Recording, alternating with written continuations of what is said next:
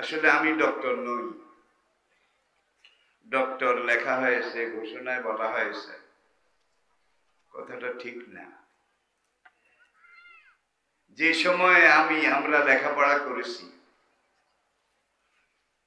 সেই সময় ব্রিটিশ আমলের পরে, তখনকার পূর্ব পাকিস্তানে ডক্টর হওয়ার মতো কোনো ব্যবস্থা ছিল না।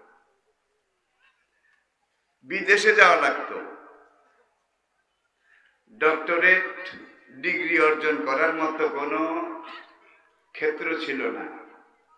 কোনো দোকানপাটও ছিল না। আমি ডক্টর নই।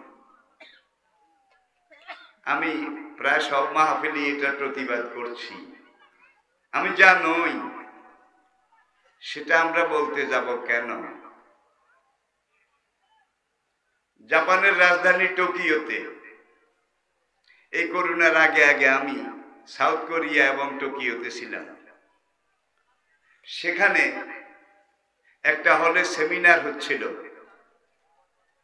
তারাও ডক্টর লিখেছে। আমি বললাম, এটা আপনারা পেলেন কোথায়? জানলেন কীভাবে?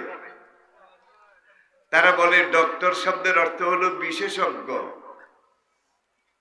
যে কোনো বিষয়ের উপরে বিশেষজ্ঞ। আমি বললাম, আমি আসলে বিশেষজ্ঞ নই বিশেষ অজ্ঞ বুঝাতে পেরেছি বোধ তবে আমার ময়দানে যারা কথা বলছে আজকে, আমার ছেলেরা, এরা সবাই আমার রুহানি সন্তান। তাদের অনেকে ডক্টর। আমি নিজে ডক্টর নই, তবে অনেক ডক্টরের আব্বা। তারা সামনে গেলে আমার কদম বুসি করে। আবার অনেক ছেলে ওয়াইজ তারা আমার পকেটে টাকা ঢুকাইয়া দেয়। আমি বলি, বাবা এটা কি? নাপিতের মাথা নাতি নাপিতে কামাইলে পয়সা দেওয়া লাগে না? তোমরা যে আমিও সেই। আমাকে কেন তোমরা এইভাবে টাকা হাদিয়া দিচ্ছ? ওরা হাসে। নবীজি এরশাদ করেছেন? তাহাদু, তাহাব্বু, বেশি বেশি হাদিয়া দাও, তাতে আল্লাহ মহব্বত বাড়াইয়া দেবে। আজকে আমি জীবনের বেলাভূমিতে ময়দানে কথা বলা যখন শুরু করেছি, সেই থেকে আজ পর্যন্ত ছাপ্পান্ন বছর। বয়স এখন একাশি বছর। যখন যেখানে কথা বলি, আল্লাহ শকর। জীবনের কোন পর্যায়ে ভয়, ভীতি, সংকীর্ণতা, হীনমন্যতা, এটাকে আমি আমার মন মনন মানসিকতায় কোনোদিনের জন্য, এক সেকেন্ডের জন্য স্থান দিই নেই। স্পষ্টভাবে কোরআনের হক কথা, এটা বলার অন্তত চেষ্টা করেছি। আজকে জীবনের বেলাভূমিতে এসে আমার পীর সাহেব হুজুর, এমন ব্লেড দুই পাশে সমান ধার। একদিকে পীর আর একদিকে চেয়ারম্যান দুই দিকে সমান ধার, ঠিক কিনা বলেন? তিনি অল্পতে শেষ করে ফেলেছেন, আমি কথাগুলো শুনতেছিলাম। আমি বেশি কথা বলব না। আমার পরে ইনশাল্লাহ আপনাদের সামনে আসতেছেন আমার আরেকজন রুহানি সন্তান। হজরত আল্লামা মাওলানা আবুল কালাম আজাদ বাসার ডক্টর। একটু একটু বলছি না, আমি ডক্টর না, ডক্টরের বাবা। মিজানুর রহমান আজহারি থেকে শুরু করে আবুল কালাম আজাদ বাসার পর্যন্ত। মাঝখানে ডক্টর যারা আছে, তারা আমাকে বাপ ডাকে। আমি মনে করি এইটাই আমার জন্য সবচেয়ে বড় দোয়া। আমি তো চলে যাব। ওদেরকে ময়দানে আপনাদের কাছে আমানত রেখে গেলাম।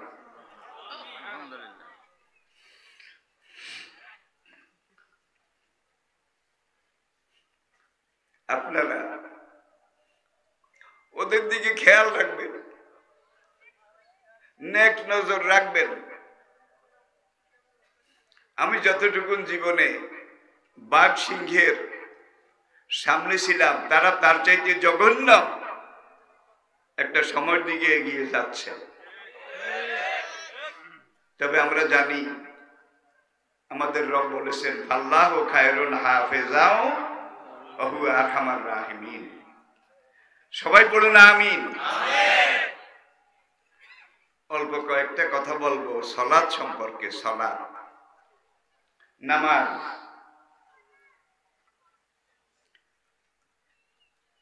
কোরআনের শুরুতে আল্লাহ বলছেন সুরে ফাতেহার পরে বাকারা। জালিকাল কিতাব লা রাইবা ফি।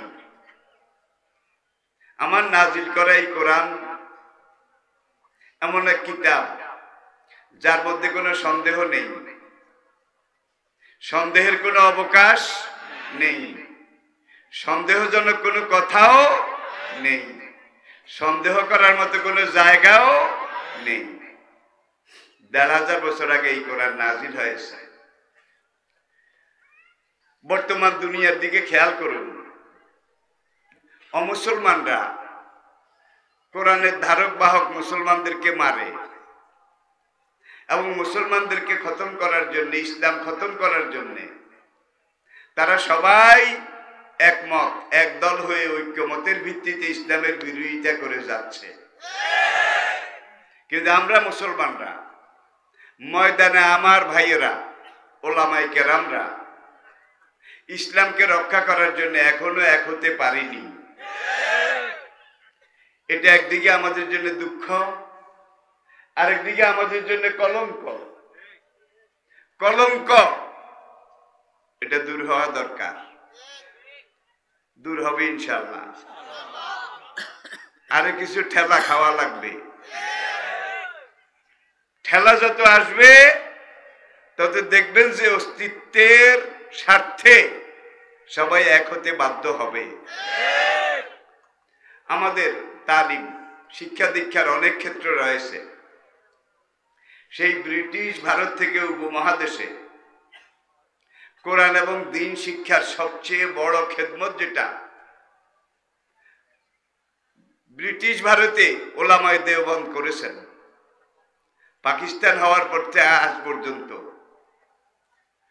কমি মানহাজের ওলামাই কেরাম, তারা সবচেয়ে বেশি খেদমত করেছেন, করে যাচ্ছেন। হক্কানি পীর বলতে আমি বৈতেশ্বরকে চিনি সবার আগে।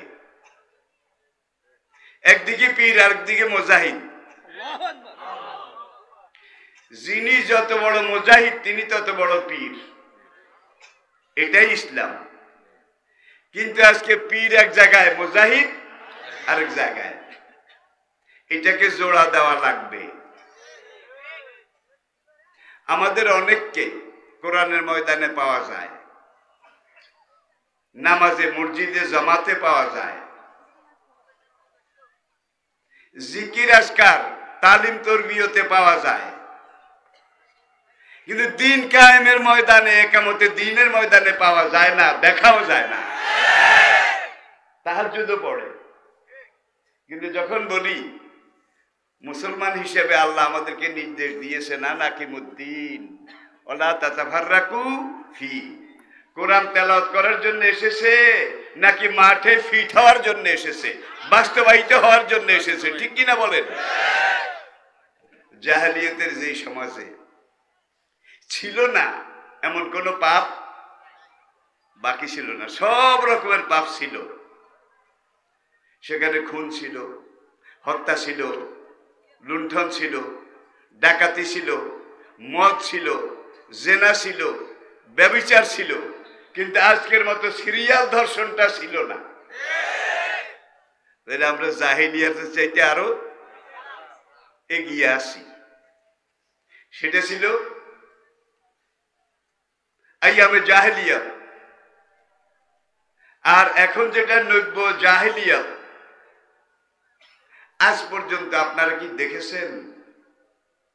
কোন একটা কুকুর সবচেয়ে নিকৃষ্ট প্রাণী, কুকুর যেই ঘরে থাকে, ফটোগ্রাফ যেই ঘরে থাকে, সেখানে রহমতের ফেরস্তা আসে না। সবচাইতে নাপাক। কুকুরের আগে কিন্তু আরেকটা আছে শুকর। শুকর। আপনারা জানেন। কোন একটা শুকর, কোন একটা কুকুর। যাতে তারা পুলিঙ্গ, পুরুষ। একটা কুকুর আরেকটা গর্ভবতী কুকুরিকে ধর্ষণ করেছে। এমন একটা রেকর্ড দেখান। একটাও পাবেন না। কোন একটা কুকুর আরেকটা নাবালেক বাচ্চা, মাদি কুকুরের বাচ্চা, এটাকে ধর্ষণ করেছে। একটা রেকর্ডও পাবেন না। ঠিক না বে ঠিক? একটা শুকুর আরেকটা শুকুরির সাথে, একটা কুকুর আরেকটা কুকুরির সাথে। যখন মিলিত হয়, তারপরে আলাদা হয়ে চলে যায়। সেখানে আরেকটা শুকুর, আরেকটা কুকুর থাকলেও ওর উপরে তখন চড়াও হয় না। একটা সময় তারা পার করে। কিন্তু এক ডজন লোক, প্রৌঢ় একজন নারী, একের পর এক, একের পর এক, একের পর এক। এইভাবে ধর্ষণ হয়েছে নাকি হয় নাই? তাহলে কুকুর ওরা ধর্ষণ করেছে উলায়কা কালা নাম, যেমন কুত্তা তেমন তার কাজ। কিন্তু আশাফল মাকলুকাত মানুষ, সৃষ্টির সেরা জীব মানুষ। আল্লাহর জমিনে আল্লাহর খলিফা মানুষ। বিবেকের উপরে মহিয়ান সম্রাট মানুষ। সাউয়াহা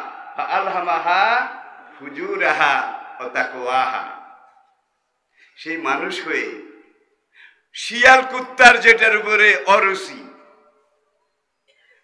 আশরাফুল মাখলুকাত মানুষ হয়ে শিয়াল কুত্তার চাইতে জঘন্য কাজ যারা করে, তারা কি শিয়াল কুত্তা? উলায়কা কালা নাম, বালহম আদল। এরা কুত্তা নয়, বরং কুত্তা দি গ্রেট। এরা কুত্তার চাইতেও খারাপ। আপনি ইচ্ছা করলে আপনাকে নূরের তৈরি ফেরেস্তা যারা সবসময় এবাদত গুজার, বন্দিগি, সেজদা, রুকু জিকির, আজকার এগুলোর মধ্যে আসে। পাঁচ অক্তর সলাদ ঠিক মতো আদায় করুন। হারাম খাবেন না। মিথ্যা কথা বলবেন না।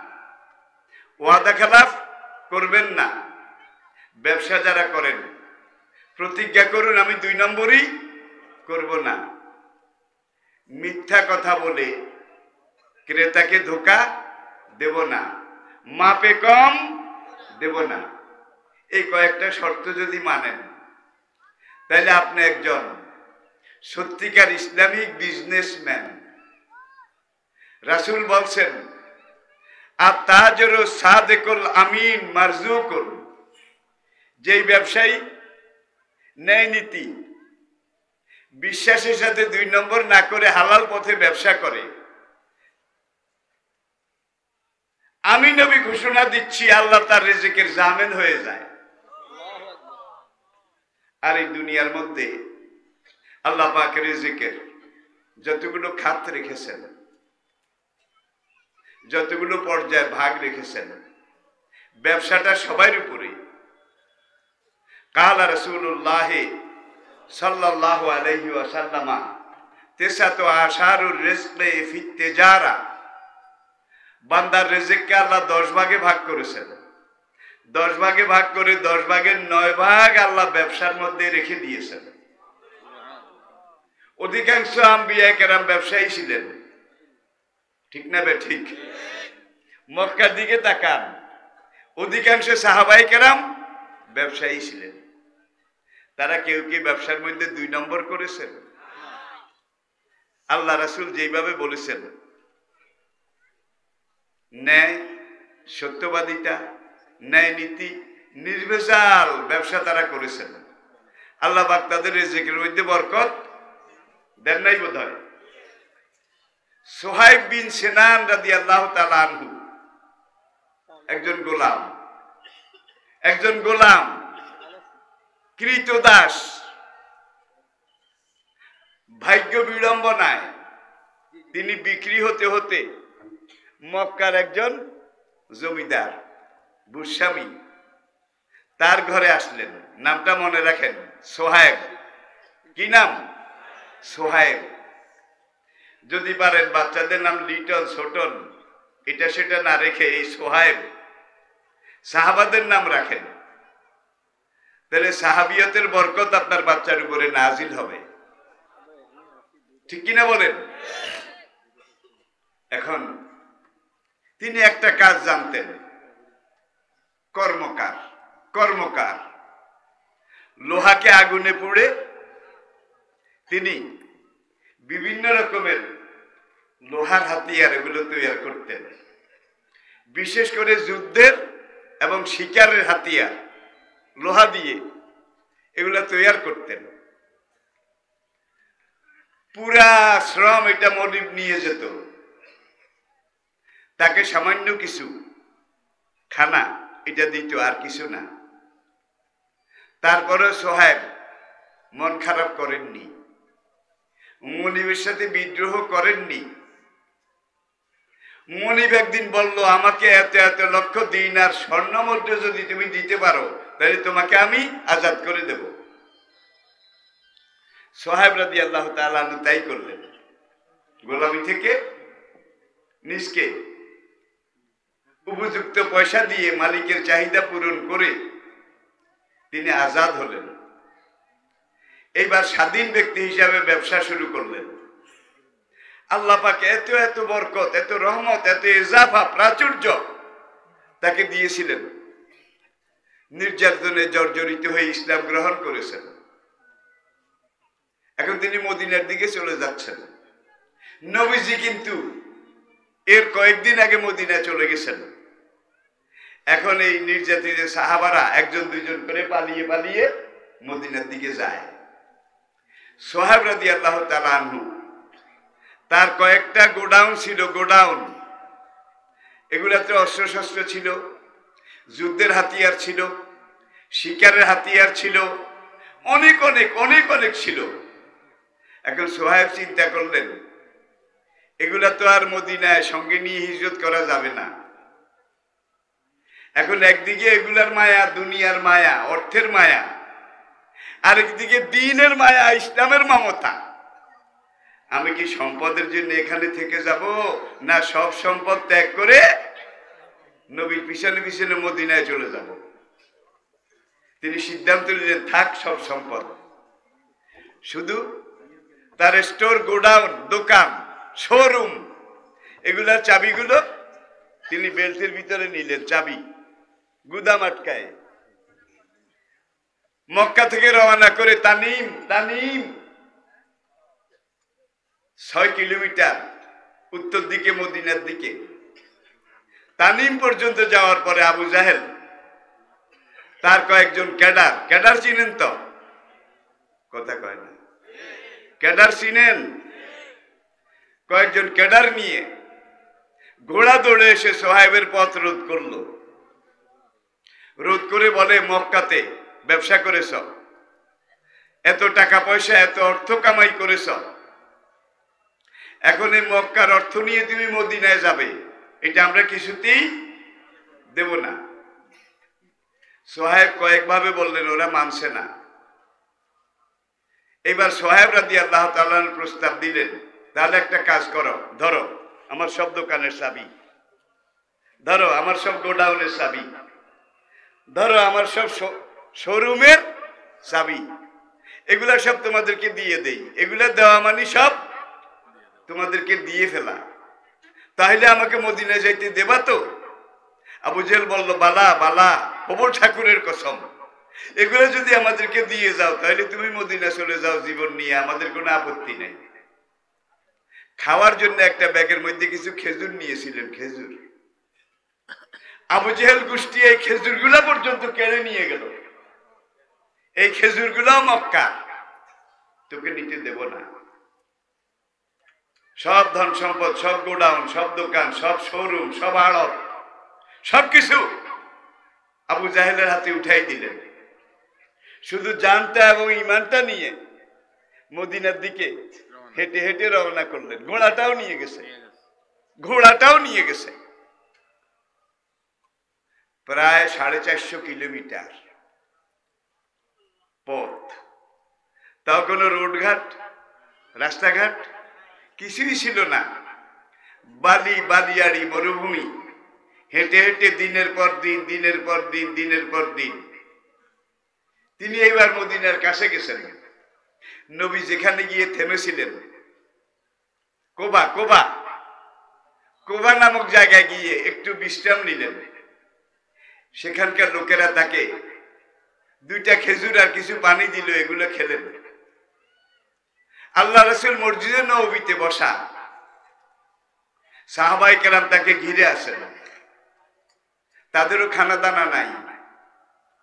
মদিনার জনসংখ্যা যা ছিল, মুসলমানরা গিয়ে দেখল মদিনার সব ব্যবসা বাণিজ্য ইহুদিদের হাতে, সব দোকানপাট ইহুদিদের হাতে। সব বেচা কিনা? ব্যবসার মনোপলি সব ইহুদিদের দখলে। মদিনায় যেই কদম চুপে চুপে মক্কাতে গিয়ে গিয়ে গত কয়েক বছরে বাইতের দোয়ান, সেখানে গিয়ে গোপনে ইসলাম গ্রহণ করেছে, আবার ফিরে আসছে। মদিনে এসে কেউ ইসলামের ঘোষণা দেয় না, কারণ ইহুদি জাতি, দুনিয়ার সবচেয়ে চালাক জাতি, শেয়ানা জাতি। বিশ্বাস করেন আর না করেন, বর্তমান দুনিয়াতে এক কোটি ইহুদি আছে। এক কোটি। ইসরায়েলে আছে ষাট লাখ। আমেরিকা আছে বিশ লাখ। কত হইল? সত্তর। আশি। আর বিশ লাখ আছে পুরো দুনিয়ার বিভিন্ন দেশে।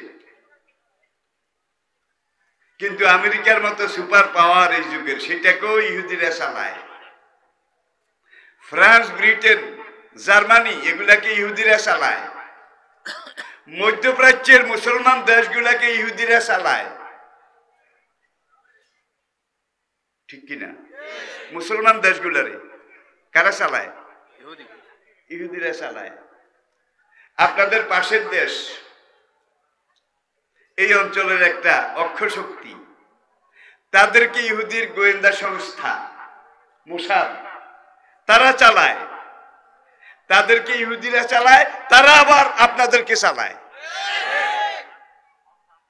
তাইলে ডাইরেক্ট হোক ইনডাইরেক্ট হোক। পুরা দুনিয়া ইহুদিরা চালায়। সাউথ কোরিয়ার কেন্দ্রীয় মসজিদ। তুর্কি গভর্নমেন্টের করা, ইমামও তুরস্কের মোয়াজিনও তুরস্কের। সেখানে মসজিদে আমি জুমার খোদবায় ইহুদি, নাসারা, মুসলমান, তুলনামূলক আলোচনা আলোচনা করলাম। করার পরে এক ভাই প্রশ্ন করলেন অনাবল মাওলানা, একটা প্রশ্ন আপনাকে করতে চাই। বললাম, ভাই, করুন না। কয়, মাত্র এক কোটি ইহুদি, তাও দুনিয়ার বিভিন্ন দেশে ভাগে ভাগে। আর মুসলমান প্রায় দুশো কোটি। কত? দুশো কোটি। খ্রিস্টান সোয়া তিনশো কোটি। অন্যান্য জাতি সব মিলিয়ে প্রায় আটশো কোটি। বর্তমান দুনিয়ার লোক সংখ্যা সব জাতি মিলিয়ে। সে বলে, পুরো দুনিয়াকে ইহুদিরা চালায়। দুনিয়ার সব ব্যবসা ওদের হাতে। দুনিয়ার সব তথ্য প্রযুক্তি ওদের হাতে। সব পলিসি মেকিং ওদের হাতে। ইহুদি জাতি এত সাড়ে শেয়ানা কি করে হলো? এত বুদ্ধি। যাদের চিকন বুদ্ধির কাছে দুনিয়ার কোনো জাতি দাঁড়াতে পারে না। আমি বললাম মাই ডিয়ার জেন্টেলম্যান আপনি কি জানেন না, আমার দেশে একটা প্রবাদ আছে, নাপিতের ষোলো চুঙ্গা বুদ্ধি। নাপিতের ষোলো চুঙ্গা বুদ্ধি। ভদ্রলোক আমাকে হেসে বললেন এক্সপ্লেইন প্লিজ আমি বললাম, এই বিশ্বের দরবারে, পুরো দুনিয়ার বুকে, আল্লাহর জমিনের উপরে, একটা মাত্র জাতি দুনিয়ার বুকে আছে। যেই জাতিটা আজ থেকে প্রায় সাড়ে তিন হাজার বছর আগে ফেরাউনের মার, ফেরাউনের নির্যাতন মেসাকা এটা থেকে যান বাঁচাবার জন্যে লোহিত সাগর পেরিয়ে, লোহিত সাগরের পূর্ব পাড়ে জর্ডান, ফিলিস্তিনের সামনে সাগরের বালিয়াড়ি একটা বিরাট সমতল ভূমি আছে, যেটার নাম ওয়া দিয়ে সায়না। ইসলামের ইতিহাসে সিনাই উপত্যকা। এই সিনাই উপত্যকাতে আল্লাহর নবী মুসা আর হারুন, এই দুই নবীর নেতৃত্বে চল্লিশ বছর তারা এখানে বন্দী ছিল। দিনেও হাঁটে, রাতেও হাঁটে। আমরা ফিলিস্তিন যাব, আমরা ফিলিস্তিন যাব। শুধু ফিলিস্তিনের দিকে যায়। চল্লিশ বছর পর্যন্ত শুধু গেছে গেছে চল্লিশ বছর। সকালে হাঁটা শুরু করে, সন্ধ্যার পরে এসে দে, যেখান থেকে হাঁটা শুরু করেছি আবার সেখানে। আবার সন্ধ্যা হাঁটা শুরু করে, সারা রাত হাঁটে, ফিলিস্তিনের দিকে যায়। সকাল হয়ে গেলে দেখা যায় যেখান থেকে হাঁটা শুরু করেছে, আবার ঘুরে ফিরে সেখানে। খেয়াল করেছেন? কোনো দেওয়াল নাই। কোনো ব্যারিকেড নাই, কোনো পুলিশ, কোনো পাহারা নাই। চল্লিশ বছর পর্যন্ত ফিলিস্তিনের দিকে গেছে। কিন্তু যেখানেটা সেখানে। আল্লাহ পাক তাদেরকে নবীর উম্মত হিসেবে, মুসা নবীর উম্মত। ও জাল্লাল না আলাইকুমুল গামামা ওয়ান জাল না আলাইকুমুল মান্না সালুয়া। কুলু মিন তৈবাতে মা রাজাকনাকুম ওলা তা সাও ফিল আরদে মুফসিদিন আল্লাহ জমিনে বাড়াবাড়ি করো না। বেস্ট থেকে আমি আল্লাহর কুদরতি মেশিনে তৈরি মানা সালুয়া। বেস্টে তৈরি খা খাবার, রেডিমেড ফুড। তোমরা সংখ্যায় সত্তর হাজার। প্রতিদিন সত্তর হাজার বন ইসরায়েলের জন্য সত্তর হাজার প্লেট। প্লেট ভরপুর বেস্টের মানা সালুয়া। চল্লিশ বছর খাইছে। কত বছর? এখন অন্য কোন নবীর উম্মত। দুনিয়ার মানচিত্রে এমন নাই। যারা দুনিয়াতে থাকতে চল্লিশ বছর বেহেস্তের নেয়ামত খাইছে, আমরাও তো পাই নাই, দেখিও নাই। কোন নবীর উম্মত না।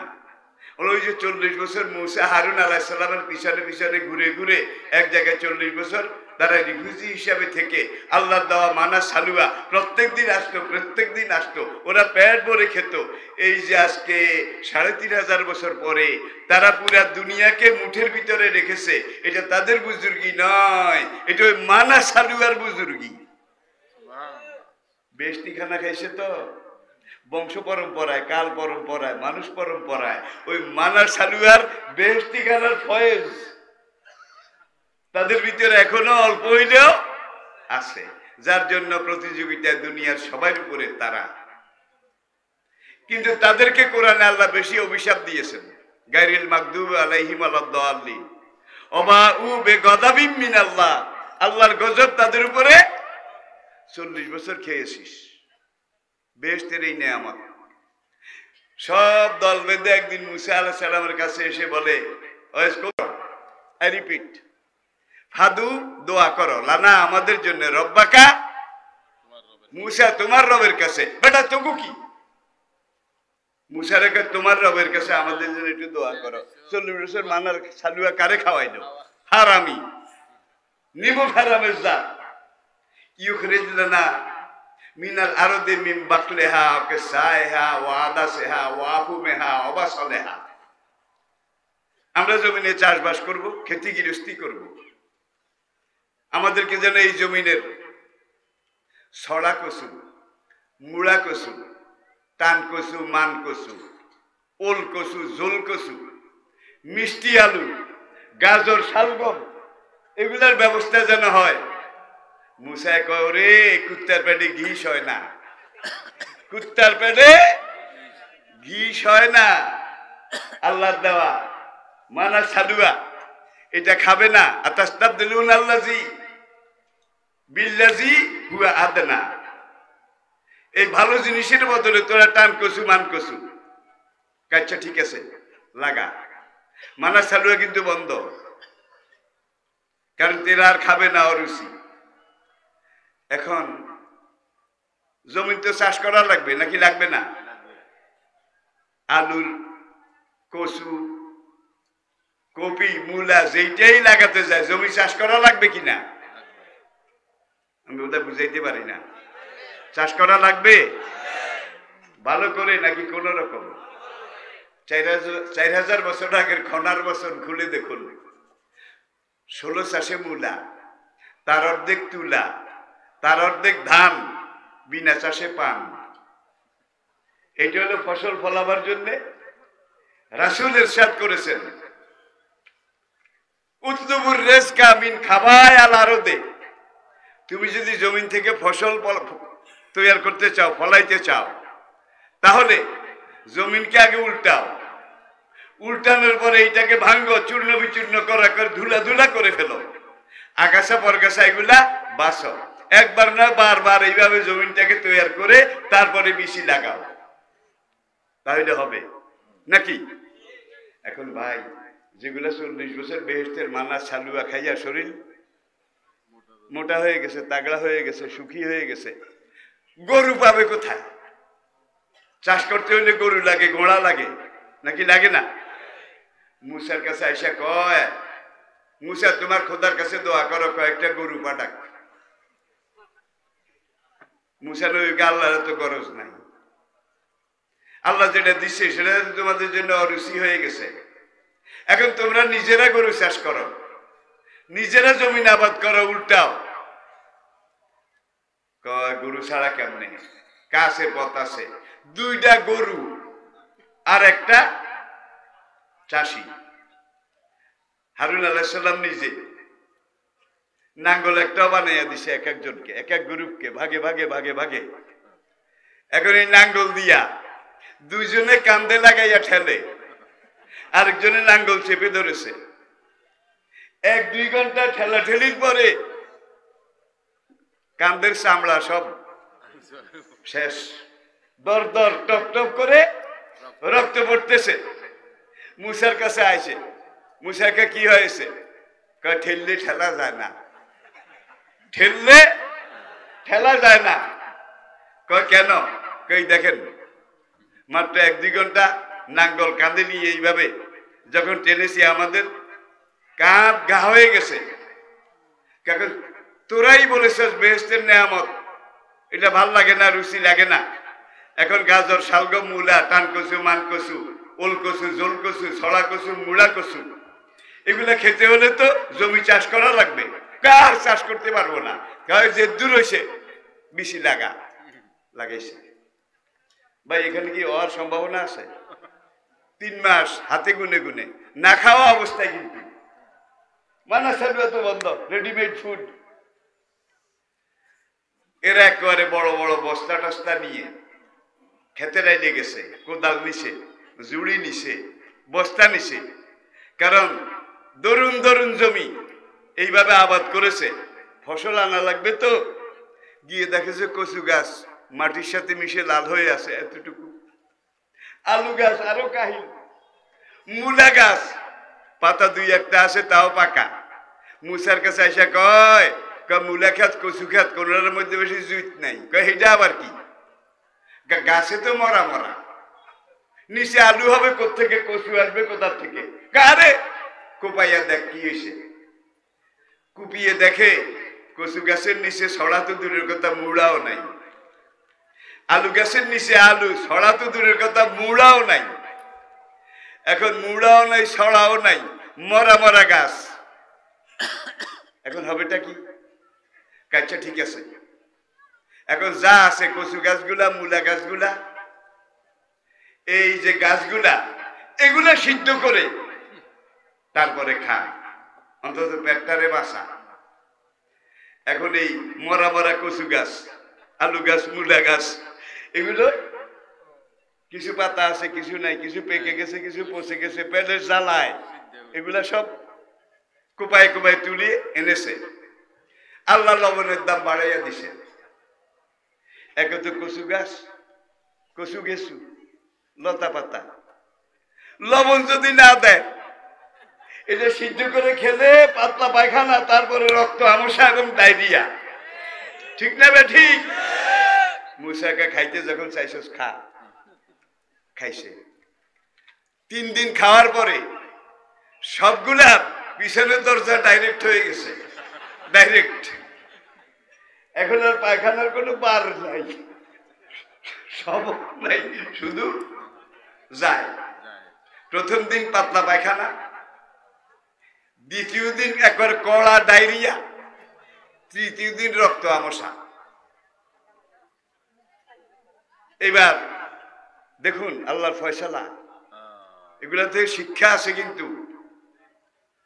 এরপরে মুসা আল্লাহ সাল্লামের কাছে আসছে কয় লবণের দাম বেড়ে গেছে লবণ ছাড়া খাইছি তো এই জন্য ডায়রিয়া হয়ে গেছে। মুসা আল্লাহ সাল্লাম বলে কোন লবণের জিম্মাদারি আমার কাছে নাই। আল্লাহ আমার জিম্মাদারি দিছি তো আমি হাত বাড়াবো মানাস চালু আসবে যত লাগবে তত আসবে যত লাগবে তত আসবে। সেটার সাথে যখন নিমু খারাপই করেছিস নিজেরা প্রোডাকশন করে নিজেরা খাবি খা। দেখছেন? এইবার কয় হয় আমাকে আবার মানা সালুয়া আনাইয়া দাও। নইলে তোমারেও মানি না, তোমার ওই হারুনরাও মানি না। দেখছেন? একজনরাও নবী মানি না। আমরা নবুয়ত চালক উম্মত, এটা থেকে স্বাধীন। এবার হারুন আল্লাহ সাল্লাম মুসা আল্লাহ সাল্লামের বড় ভাই তো চিকন বুদ্ধি আছিল। মুসা একটু মেজাজি, রাগি। হারুন আল্লাহ সাল্লাম ঠান্ডা। এই যে এখান দিয়ে একটা খাল আছে, তোরা খাল পার হইয়া ওই পারে যা। এই সময় আবার এক কাফের নাম তার সামেরি। কোরআন তার নামও উল্লেখ করেছে। হামা খাতাবুকে ইয়া সামেরি। সামেরি ছিল একজন স্বর্ণকার, মুশরেক, প্রতারক। সে বলি ইসরায়েলদের সামনে দরদি হয়ে আসলো। সে কয় যে খালের ওই পারে কি সুন্দর ফসল দেখা যায়। কি সুন্দর গাছ গাছরা দেখা যায়। উৎখুলু মেসরা ফাইনালা মা শাল কম নদীর ওই পারে যা, কি সুন্দর ফসল, সেখানে যা। গিয়ে কি হবে? মুসা কয় ছাড়বো হারুন কয় ছাড়বো ওখানে গিয়ে যদি কিছু না পাই দেখোস না কত কিছু? কয়, কি আছে? কয়, সেখানকার এক একটা গোল আলুর ওজন অন্তত এক মন এক একটা মিষ্টি কুমড়া অন্তত চার মন এক একটা মুসুরির ডাল অন্তত দেড় কেজি, একটা মুসুরির ডাল। সেখানে গেলে তোরা দেখবি, সেখানে এমন এমন জিলাপি পাওয়া যায়। এক একটা জিলাপি গরুর গাড়ির চাক্কার চেয়েও বড়। দেখছেন? সেখানে গেলে এমন এমন মিষ্টি রসগোল্লা পাবি। এক একটা রসগোল্লা বড় বড় মোটকার মতো। মোটকা ছিলেন ওই যে সুপারি ভিজায়। রসগোল্লা বড় বড় মোটকার মতো। জিলাপি গরুর গাড়ির চাক্কার মতো। তাই নাকি কহ? সব গেছে। হারাম জাদারা একবারও চিন্তা করল না। যে জিলাপি গরুর গাড়ির চাক্কার মতো মোটা, এত বড়, এই জিলাপিটা কোন কড়াইতে ভাজি করেছে? এমন কড়াই তো সেই দেশ দূরের কথা, সেই জগতেও নাই। এক একটা রসগোল্লা মোটকার মতো। এটাকে ভাজি করতে হলে যেই কড়াইটা লাগবে, এটা দুনিয়াতেও নাই। সেখানে গিয়ে এখন দেখেছে এখানে যেগুলা গাছ আছে, নদীর ওই পার থেকে একটু ভালো ভালো দেখা গেছে, আল্লাহর কুদরতে সেগুলা সব মরে বসে গেছে। এখন স্বামীরে কয় কয়, কই, মুসা হারুনরে ছেড়ে আসলাম তোর পিছে। হককে বাদ দিলাম, না হককে গ্রহণ করলাম, বেদ বিচারও করলাম না, এখন আমরা খাবোটা কি? কে একটু সবুর কর, কইলেই তো হয় না। এইবারের ফসলটা মার গেছে। আবার নাঙ্গল কাঁদে লাগা। আরেকজন গরু হয়ে, চাষি হয়ে নাঙ্গল ধর, আবার ঠেল। ঠেলবো কীভাবে জাগা নাই। সব ক্ষত। সব রক্তে টকবক হুশিয়ার বনি ইসরায়েল যেগুলো আসিল, একটু বুদ্ধিমান। সেগুলা বলল, তুই প্রতারক, আমরা বুঝতে পেরেছি। আমরা আবার ফিরে যাই। যেই মুসা, সেই মুসা। যেই হারুন, সেই হারুন। যেই কোহেতুর সেই কোহেতুর এরা খালসাত্রী আবার মুসার এখানে আসছে। এখন দেখা যায়, এক একটার পাশা, নিতম্ব নিতম্ব, মাফ করবেন। এক একটা নিতম্ব এত বড় বড় আসিল। এখানে উপাসে উপাসে এই বন জঙ্গল আগাছা পরগাছা খাইয়া রক্ত আমসা ডাইরেক্ট হওয়ার পরে এখন নিতম্বগুলা তালের মিশির মতো এতটুকু হয়ে গেছে। হাতের বাজুগুলো কাঠ পেন্সিলের মতো হয়ে গেছে শিকল। হাড্ডির উপরে শুধু চামড়ার আছে। এইদিকে আমি যদি আগায় যাই, তাহলে বাকি ওয়াজ থেকে যাবে। থাকে এটা এখানে। সলাতের কথা বলছিলাম। সলাত জালিকাল কিতাব লা রাইবা ফি মুত্তাকিন। ইউমিনুনা বিল গায়ব ওয়া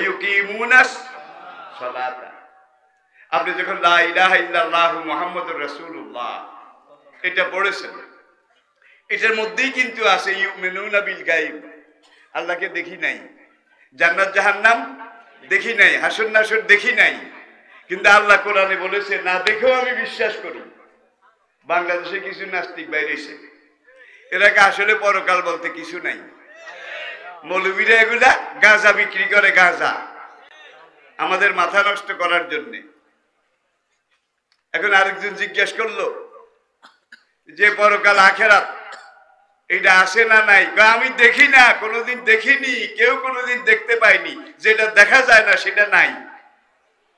পরকাল বোধহয় দেখা যায়।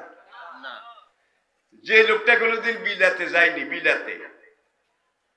সেই লোকটা বাংলাদেশে থেকে যদি বলে বিলাতের হিথ্রো ইন্টারন্যাশনাল এয়ারপোর্ট। হিথ্রো বিমানবন্দর দুনিয়ার ব্যস্ততম বিমানবন্দরের একটা। প্রতি মিনিটে সাতটা বিমান জাম্বুজেট বিমান উঠানামা করে মিনিটে সাতটা। কি মনে করেছেন এখন একটা লোক কয়, আপনি কোথায় গিয়ে নামছেন? আমি বললাম, আমি হিত্র গিয়ে নামছি। সেখানে আমাকে ওরা রিসিভ করেছে। তারপরে মাহফিলে গেছি। আবার আরেকবার সাইড আবার আমি একই ফ্লাইটে সেখানে একই রুমে শহরের পর শহর, দিনের দাওয়া কাজ করে যাচ্ছি। এখন আমি ওই একটা নাস্তিক টাইপের মানুষ, আমাকে যখন বলল, বিলাতে যে হিত্র নামক একটা বিমানবন্দর আছে এটাকে আপনি বিশ্বাস করেন? না না নো নেবার আমি কি হোয়াই কেন বিশ্বাস করেন না? কা, আমি দেখি নাই। যেটা আমি দেখি নাই, সেটা আমি বিশ্বাস করি না। তাইলে এখন এই লোকটা কি সুস্থ না অসুস্থ? ওর দেমাগের চিকিৎসা আগে দরকার। তুমি দেখোনি এই জন্য বোধহয় হিট্টু বিমানবন্দর নাই। বরং তুমি এইটা বলতে পারতে হি- হিট্টু বিমানবন্দর আছে কি না বা কি কেমন এটা আমার জানা নাই। তুমি নাস্তিক যদি বলতে পরকাল আছে কি না কি রকম কি এই সম্পর্কে আমি কিছু জানি না। ডাইরেক্ট বললা পরকাল বলতে কিছুই এরকম কথা আবু জাহেল বলছিল। আইজা মেতনা অকুন্না তোরাবান জালেকা রাজুম বাই হায় হাতা হায় হাতা।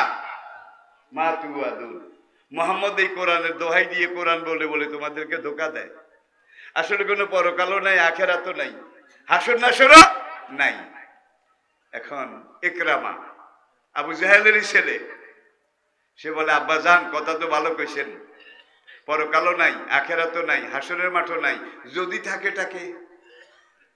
বেটা, তুইও তো নাস্তিক হয়ে গেছিস। আমি বললাম, না, তুই আবার কাজ যদি? গ্রাম বাংলায় একটা কথা আছে, যদি কথার অর্থ নাই। কোন একটা চুক্তির মধ্যে যদি তেরোটা যদি লেখা হয়, একটা চুক্তির মধ্যে তেরোটা যদি। একটা যদি বললেই এটার বিশ্বাস নাই, তেরোটা যদি হইলে কি হয়? আপনারা জায়গাগুলো খুঁজে নেবেন। আমি শুধু একটু ইশারা করে যাই ভাইয়েরা, এখন আবু জেহেল, সে বলে, না, তুই আর এই ব্যাপারে কোনো কথা কইস না। হাসরের মাঠ নাই, পরকাল নাই, বিচার নাই, মিজান নাই, হাউজে কাউসার নাই, মোহাম্মদ সব মিথ্যা কথা বলে। আল্লাহ নবীকে বলে, আইয়ুকা জেবুকা, ওরা তোমাকে মিথ্যুক বলে। হে নবী, তুমি মন খারাপ করো না। ফাকাত কুজবাত রসুলুম মিন কাবলিক তোমার আগে যত যুগে যত নবী আমি পাঠাইছি, সব নবীকে এই বেঈমানরা মিথ্যুক বলেছে। মিথ্যাবাদী বলেছে। এই যুগের নায়েবে নবী যারা, তাদেরকে একদল মিথ্যাবাদী বলে না। নায়েবে রাসুলদেরকে বোধহয় মৃত্যুক বলে না। দেড় হাজার বছরের আবু জাহেল শুধু আবু জাহেল আসিল দেড় হাজার বছর পরে আজকের আবু জাহেল কিন্তু একদিকে আবু জাহেল আর একদিকে ডক্টর। ডক্টর ডক্টর, নাস্তিক। ঠিক না বে ঠিক? আলহামদুলিল্লাহ, একটু আগে যে বলছি, আমার ছেলেরাও আজকে ডক্টর গোকরা সাপ ধরতে হইলে ভালো ওজা হইতে হয়, ওজা। ভালো সাপুড়ে হইতে হয়। ঠিক কি না তোমরা যেহেতু শেয়া না, আমরাও কিন্তু সমানে সমানে এগুচ্ছি। আমাদের সাথে আল্লাহর মদত আছে আল্লাহ রাসুলের দোয়া আছে, ফয়েজ আছে, বরকত আছে। আমাদের দিনের এই তরি কোনোদিন ডুববে না। পাঁচ নামাজ আমরা ঠিক মতো আদায় করব। রাজি আছেন রাজি আছেন রাজি আছেন হাত নামান। কালা মান তারাকা সালাতা ফাকাদ কাফারা। খেলায় অলসতা করে এক ওয়াক্ত ফরজ নামাজের তরফ করল, মান তারাকা। যে ছেড়ে দিল, পড়ল না হাকাত কাফারা। নিঃসন্দেহে সে কাফের পর্যায়ে পৌঁছে গেল। একক তো ইচ্ছা করে ছেড়ে দিলে কাফের। সব যে পড়ে না, তার নাম কোথায়? বলে অকাল রসুল্লাহ সাল্লাহ আলাইহি সাল্লামা আল ফরক বাইনাল মোমেনে অল কাফেরে তর্ক সালা দুইজন বান্দা, একজন মোমেন আরেকজন কাফের। যে মোমেন সে নামাজি, যে কাফের সে বেনামাজি। যে নামাজ পড়ে সে মোমেন, যে নামাজ পড়ে না সে কাফের। খুব সংক্ষেপে আমি এক দৌড়ে যাচ্ছি। শরীর কোনো ওজোর যদি না থাকে দৈহিক কোনো অসুবিধা যদি না থাকে, তাহলে প্রত্যেক ওয়াক্ত নামাজ এলাকার মসজিদে গিয়ে জমাতে পড়া। কি? এখন মসজিদ কাছে আছে, যাওয়ারও সুযোগ আছে, যাওয়ার মতো শরীর স্বাস্থ্য, ফিটনেস এটাও ঠিক আছে, আপনি গেলেন না। আপনার নামাজ হবে না। আপনার নামাজ হবে না। দোহাই আল্লাহ। পরিবেশ যদি এমন হয়, শিলাবৃষ্টি, তুফান, ঝড়, ঠাডা ঠাডা, কড়াক কড়াক। এমন পরিবেশ যদি হয়, রাতের বেলা আমি যদি এখন মসজিদে যাই, তাহলে আমার পিছনে আবু জাহেল লাগা আছে, ওতবা, মগিরা, সাহেবা এগুলা লাগা আছে। আর এগুলোর অভ্যাস আছে, আমাকে টার্গেট করবে, দশ ইঞ্চি ঢুকে যা দেবে। আছে না নাই? আছে না নাই? এটাও একটা শরীর উজোর কিন্তু। জীবনের ঝুঁকি থাকলে সেটা অন্য ব্যাপার স্যাপার আমি কি বুঝাতে পেরেছি? এইবার সেখানে গিয়ে আপনারা জমাতে নামাজ পড়বেন। এখন জমাতে যদি নামাজ পড়তে হয়, পুরা মুসলমান জাতিটা কিন্তু একটা জমাত। নাকি? জুয়েল আলী আল আরদা মুসল্লা। মুসলমান জাতির জন্য আল্লাহর পুরা জমিন আল্লাহ নামাজের মুসল্লা বানিয়ে দিয়েছে। এখন আপনি জামাতে নামাজ পড়বেন। তাইলে এখন আপনাকে প্রথম ভোট দেওয়া কারণ একজনকে সব মুসলিম মিলে ভোট দেবে। ইমাম বানাবে। নাকি? একটা দায়িত্ব? কয় না কা একটা দায়িত্ব? আমি জামাতে নামাজ পড়ার জন্য এই ইমামকে নির্বাচিত করলাম। আমার ব্যালট তার বাক্সে দিলাম। কার ব্যালট? এখন আপনারা লাইন করেছেন। এখন ভোট দিবেন। ইমাম বানাবেন। দুই, তিনজন মোসোয়ালা আসছে। এসে ওরা একজন আরেকজনকে বলে, চাচা, আপনি বুড়া মানুষ। আপনি জায়গা মতো। ভোট দিতে পারবেন না, আপনি থামেন। আপনার একটা দেখতে বেহাজাল ইমামটা আমি কইয়া দেই। তাইলে বোধহয় নামাজ হবে। হবে, জোরে বলেন। আমার ভোট আমি দেব। যাকে খুশি, তাকে দেব। বাবা, আমার ভোট আমি দেব। যাকে খুশি তাকে দেব। ঠিক না বে ঠিক এখন কারে ভোট দেবেন?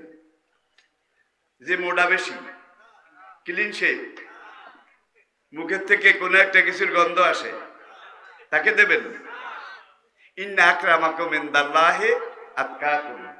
উপস্থিত মুসল্লিদের মধ্যে যে লোকটা সবচাইতে পারফেক্ট ইসলামের দিকে যে বেশি পরিপূর্ণ, যে সবচেয়ে বেশি মোত্তাকি পরহেজগার যে সবচেয়ে বেশি এলমওয়ালা সাহেবে এলেম যে লোকটা সবচেয়ে বেশি আকরাও আকরাও কোরআন যার সবচাইতে এগুলো দরকার কি না? জোরে বলেন। এখন আপনি ভোট দিলেন একটা দায়িত্ব বেহাজান ইমাম। নামাজ শুরু হয়ে গেল। ইমাম সাহেব ভোট পেয়ে নেতা নির্বাচিত হলো। আর আপনারা বুনিয়ান মারসুস হয়ে পিছনে দাঁড়িয়ে গেলেন। ঠিক না বে ঠিক? প্রথম রাখাত ঠিক মতো পড়েছে। দ্বিতীয় রাখাতে দাঁড়াইয়ে ইমাম সাহেব লাইনচ্যুত হয়েছে। পড়বে সুরায় ফাতেহা।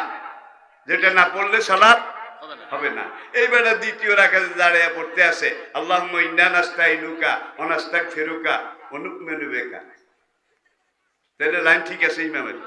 ঠিক আছে? এখন আপনারা ভোট দিছেন, ইমাম বানিয়েছেন। এখন আপনারা বলেন, যার পাপে তারে খাবে। আমাদের এর মধ্যে নাক গলানোর দরকার নাই। তাইলে আপনাদের সালাত, নামাজ আদায় হবে আদায় হবে হবে!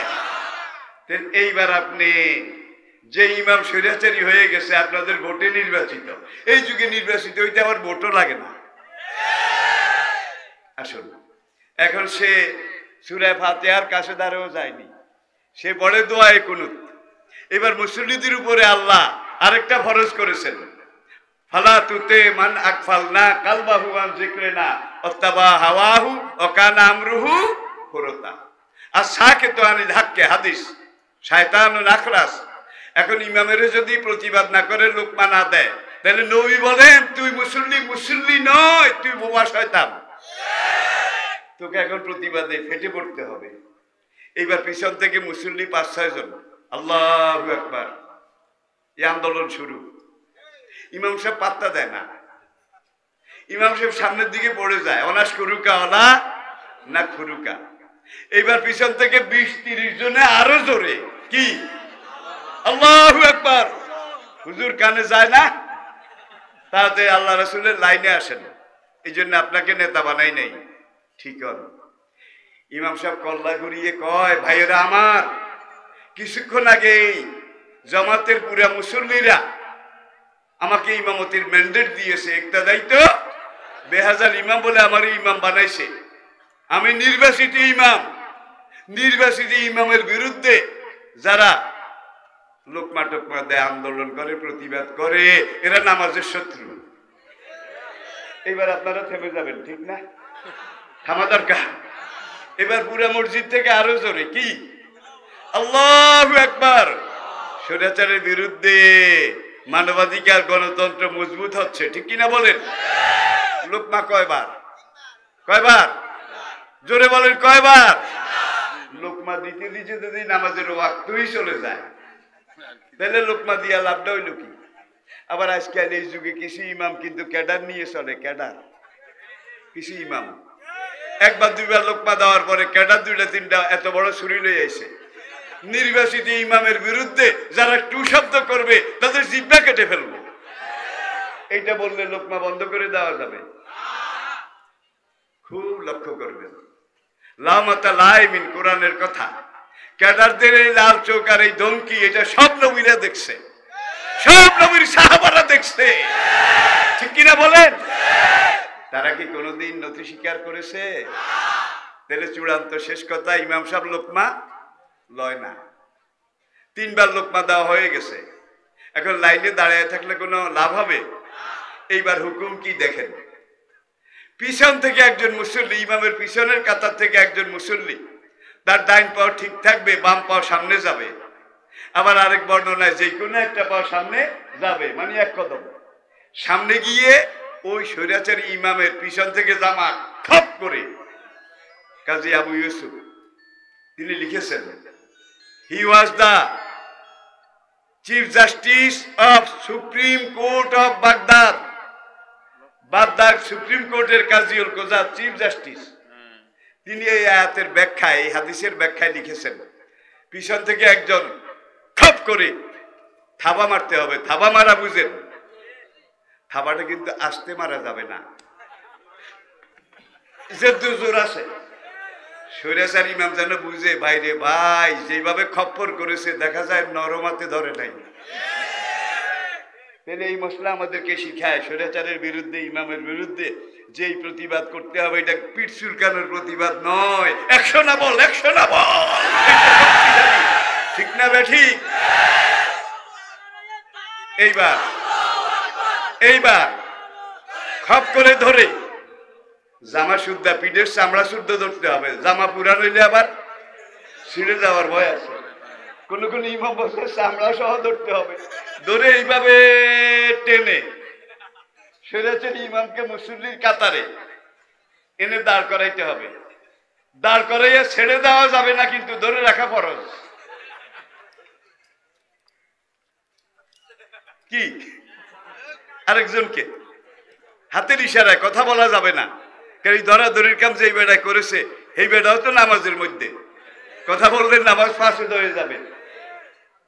স্বৈরাচার ইমামকে ধরে রেখে আরেকজন মুসল্লি, যার জন্য ইমামের পিছনে এমন এমন মুসল্লি দাঁড়াইতে হবে। ইমাম যদি ওইভাবে ফেল মারে, ইনারা যেন কেয়ারটেকার ইমামের দায়িত্ব পালন করতে পারে।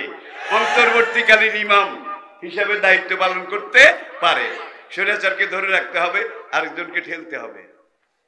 এই আরেকজন যখন ইমামের জায়গায় চলে যাবে। তখন শরীয়চারকে ছেড়ে দিয়ে মুসল্লি হাত বাঁধবে। ইমাম আর যাবে কোথায়? শূন্যস্থান কি হয়েছে? ইতিহাস থেকে কেউ শিক্ষা নেয় না ভাই।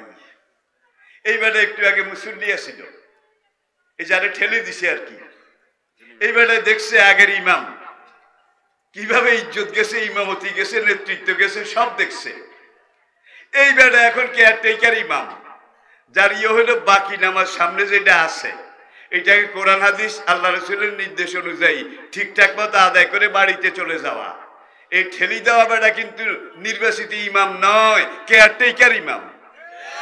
ঠিক না ঠিক দেখেন, মিলে কিনা মিলে কিনা দেখুন। লক্ষ্য করুন। এখন এই বেড়ায় সুরে ফাতে আর কাছেও যায় নাই। এই বেড়ায় একবারে ইমামতির দায়িত্ব ভাইয়া মনে করছে মাইকি হনুরে আমি বোধহয় কোনো একটা কিছু হয়ে গেছি। এই বেটা এখন দাঁড়িয়ে পড়া শুরু করেছে ওয়াত পড়া কোনটা? সূরা ফাতিহা। এটা না পড়ে আগের ইমাম যেভাবে গোলা পানি খাইলো বেটা, তুই দেখলি। এখন তুইও আবার দেখে দেখে ইতিহাস থেকে শিক্ষা নিলি না। এখন এই বেটা যখন আত্মীয়ত পড়া শুরু করেছে তখন একে আবার লোকমা দিতে হবে। কয়বার? কয়বার? তিনবারে যদি সে ঠিক হয়। সুরে ফাতেহা শুরু করে আত্মায়াত বাদ দেয়। তাহলে ইমামতি ঠিক, গদি ঠিক। তার পিছনে একতেদা করে নামাজ আদায় করা ফরজ। আর যদি সুরে ফাতেহার কাছে না এসে আত্মায়াত পড়তেছে, তিনবার লোকমার পরে ইমামকেও ধরা ফরজ। আগের ইমামের মতো। ধরে এইভাবে টেনে নিয়ে আসা ফরজ। এইভাবে নামাজ চার রেখাত শেষ হওয়া পর্যন্ত যতক্ষণ ইমাম ভুল করতে থাকবে ততক্ষণ এই ধরাধরি ফরজ। এটি হলো নামাজ কি শিক্ষা দেয়। এই শিক্ষা, এখান থেকে আমরা শিক্ষা নিতে পারি কিনা দরকার কিনা আজকে দূরে থাক। আল্লাহ আমাদেরকে বোঝার তৌফিক দান করুন। আমার রুহানি সন্তান। হজরত আল্লামা মাওলানা ডক্টর, এই যে একটু আগে গেছি ডক্টর, পাইছেন তো? ভাই, আমার লইয়া ঠেলা ঠেলি করিয়েন না। দেশে যেই ব্যারামে পাইছে, বিদেশেও আমার সেই ব্যারামে পাইছে। আল্লাহ পাক আমাদেরকে বুঝার তৌফিক দান করুন। পাঁচ ওয়াক্ত নামাজ আল্লাহর নির্দেশ, শাসনের তরিকা মতো, আদায় করার মতো যোগ্যতা, মানসিকতা সাচ্চা ইমান আমাদেরকে দান করুন। সবাই পড়ুন, আমিন। আর আজকের এই তাফসিরুল কোরআন মাহফিল, এখানকার যুবক তরুণ, আলহামদুলিল্লাহ। আজ থেকে চল্লিশ বছর আগে যখন মাঠে ময়দানে ওয়াজ করি, তখন দেখতাম যে পাকা দাড়ি, চোখ যায় যায়। এরকম বুড়া মানুষ কিছু। বুলে দুই একটা যুবক। আর আজকে ময়দানের দিকে তাকান। পাকা দাড়িওয়ালা মানুষ নাই। বুড়া মানুষ নাই। সব যুবক সব যুবক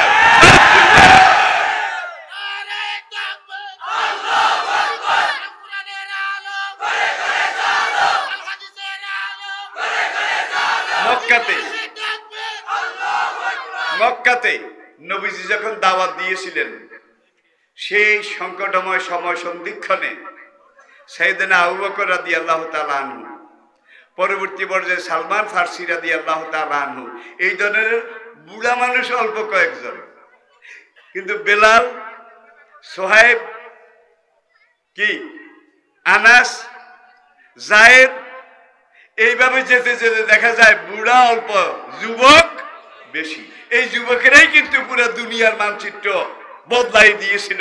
এই যুবকেরাই কিন্তু যখন এগিয়ে গিয়েছিল পুরা জজিরাতুল আরব নয়, অর্ধেক পৃথিবীতে আল্লাহ দিন কায়েম হয়ে গিয়েছিল। আমার যুবক ভাইয়েরা রাজি আছেন? এখানে মাহফিলের ইন্তজাম। মুরব্বীরা উপদেশ দিয়েছে, পয়সার যোগান দিয়েছে।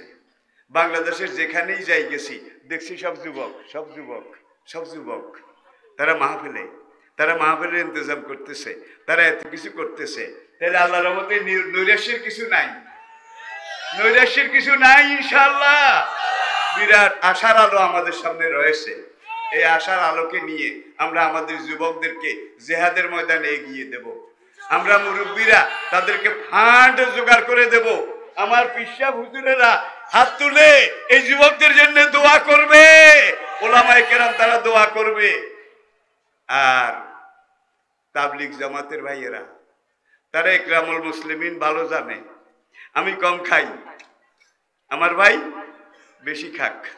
তারা ভাতও রাঁধতে জানে, এক পাতে খাইতেও জানে। তাইলে আমাদের এই যুবকেরা বেলা সোহাব আম্মার হিসাবে বদরের ময়দানে, উহুদের ময়দানে এগিয়ে যাবে। আর এই বুড়া মুরব্বী যারা তারা ফান্ড যোগান দেবে। পিসা বুজুররা দোয়া করবে, তাবলিগের ভাইয়েরা অন্তত ভাত রান্না করে ওদেরকে খাওয়াবে। একত্র করেন এইটাই পূর্ণাঙ্গ ইসলাম। কিন্তু আজকে ইহুদিরা আমাদেরকে দশ ভাগ, একশো ভাগ একশো ভাগ করে করে বিচ্ছিন্ন করে রাখছে। আমাদেরকে আল্লাহ পাক যেন বুঝার টপিক দান করেন। আসসালামু আলাইকুম রহমতুল্লাহি